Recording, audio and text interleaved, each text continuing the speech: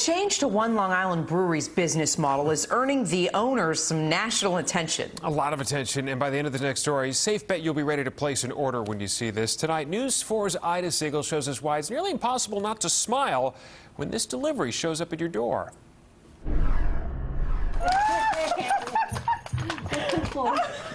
A special delivery on Long Island. This is the funniest thing I've ever seen.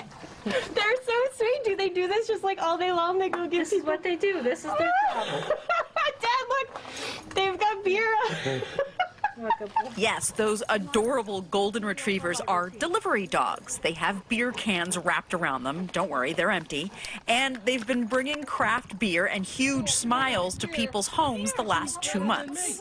Hi, fellas. this is Buddy and Barley. And Buddy we're and Barley. Oh, got my goodness, delivery, go and figure. Buddy and Barley are the resident dogs of the Six Harbors Brewing Company in Huntington. Like everyone else, COVID forced a change in the business model to delivery and pickup only. The owners, however, decided to get creative. People were saying, gee, I miss your dogs. So we started bringing the dogs on some of the deliveries, and we said, hey, why don't we, why don't we make this a, a permanent thing? Why don't we get the dogs out there in the car with us?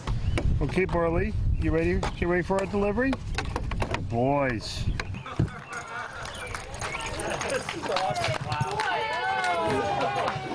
It was a hit. Was very excited. First first time uh, I've ever had beer delivered by a couple of dogs. Yeah. So uh, it makes the beer extra special. Barley and Buddy make every delivery a joyful event. It is quite a birthday surprise. I'm just so like surprised. I'm glad you're happy. Thank you. We've gotten a lot of phone calls for uh, surprise gifts. People having us send our dogs to their friend's house, or their son's 21st birthday was this past week. Uh, anniversary gifts. And The dogs have a ball riding in the delivery truck. Then they bring the empty cans to the front door, give everyone a good laugh, and then the real beer follows. believe me, it wasn't hard to train them because they want to be with people. They miss people just as much as people miss them. Hey, Buddy. They have become like therapy dogs, delivering the kind of mid pandemic cheer you can't put a price on. What we're dealing with right now, it's five minutes of happiness, which I think a lot of people need. In Huntington, Ida Siegel, News 4, New York.